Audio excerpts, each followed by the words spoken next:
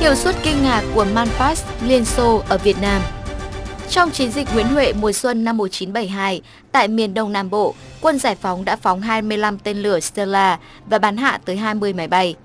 Trong một bài viết mới đây về việc hệ thống tên lửa phòng không vác vai mới nhất Manpass V3 được quân đội Nga tiếp nhận, giới quân sự Nga cho biết một loạt tổ hợp đã được chuyển đến một trong những đơn vị phòng không ở miền đông Siberia. Theo các chuyên gia, đây là vũ khí phòng không cá nhân tối tân nhất hiện nay, có khả năng tác chiến vượt trội đáng kể so với sản phẩm phương Tây và thế hệ tiền nhiệm của Liên Xô như Shela và Igla. Manpass là phương tiện phòng không hiệu quả, tương đối rẻ tiền trang bị cho lực lượng mặt đất, đặc biệt là bộ binh. Nhờ đó, một chiến binh có thể bắn hạ chiếc máy bay trị giá hàng triệu đô la trong vài giây, giải cứu đồng đội trước cuộc oanh tạc trên không hay thoát khỏi trong một cuộc tấn công trả đũa, ẩn nấp theo các nếp gấp địa hình.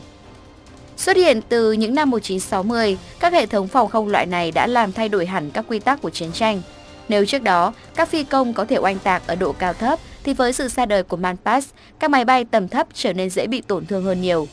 Manpass Liên Xô đầu tiên là Shela 2 do hai nhà thiết kế tài năng Boris Sabrinhin và Sergei Nopebendimy phát triển, được tiếp nhận vào năm 1968. Shela 2 bắn trúng máy bay địch với xác suất gần như 100%, mặc dù có nhược điểm đáng kể là chỉ bắt được mục tiêu chỉ những hướng nhất định. Xạ thủ ngắm bắn vào phía đuôi máy bay, nghĩa là phi công có thể hoàn thành nhiệm vụ tấn công mặt đất, nhưng chiếc máy bay sẽ bị bắn hạ. Ngay sau đó, tổ hợp đã thử nghiệm trong các cuộc xung đột khu vực. Ngày 12 tháng 9 năm 1969, 10 chiếc máy bay F-4 Phantom của Israel bay qua kênh đảo Suez vào không phận Ai Cập. Những chiếc máy bay xấu số này bị Chela 2 bắt gặp và chỉ còn 4 chiếc có thể quay về căn cứ. Nhưng những trải nghiệm thực tế mà người Mỹ gặp phải ở Việt Nam mới là đáng nhớ khi máy bay Mỹ được thử sức với Manpass Liên Xô. Theo nhà sử học quân sự, chuyên gia trong lĩnh vực tên lửa phòng không là ông Igor Diomchenko, cuộc làm quen đầu tiên của người Mỹ với Chela là vụ ném bom năm 1970 nhưng Manpass Liên Xô được sử dụng thực sự rộng rãi trong chiến dịch Nguyễn Huệ vào mùa xuân năm 1972 tại miền Đông Nam Bộ.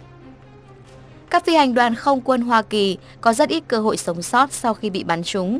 Ít nhất có 5 trường hợp F-4 Phantom Mỹ bị tên lửa Strela bắn hạ đã được ghi nhận. Còn máy bay trực thăng thực tế không có cơ hội sống sót, đặc biệt là loại UH-1 Iroquois được bảo vệ yếu. Tuy nhiên, kể cả trực thăng tấn công tối tân AN-1 Cobra cũng không còn được an toàn. Tổng cộng quân giải phóng miền Nam Việt Nam đã thực hiện 25 lần phóng tên lửa Strela và bắn hạ tới 20 máy bay. Kết quả này là rất tốt nếu tính đến việc người điều khiển chỉ là các quân nhân Việt Nam mới được đào tạo và vẫn còn thiếu kinh nghiệm. Trong cuộc chiến Yom Kippur ở Trung Đông mùa thu năm 1973, Ai Cập và Syria đã sử dụng hệ thống này bắn hạ hơn 30 máy bay và trực thăng của Israel. Những kinh nghiệm sử dụng Chela 2 trong các cuộc chiến cục bộ, đặc biệt là việc cải thiện khả năng chống nhiễu đã được các chuyên gia Liên Xô áp dụng vào việc chế tạo các tổ hợp phòng không vác vai thế hệ sau là Chela 2M, Chela 3, Ikla và hiện nay là cả phiên bản Manpass mới nhất là V3. Nếu như các bạn thấy những bản tin quân sự hay và hấp dẫn, thì hãy ủng hộ chúng tôi bằng cách ấn đăng ký theo dõi.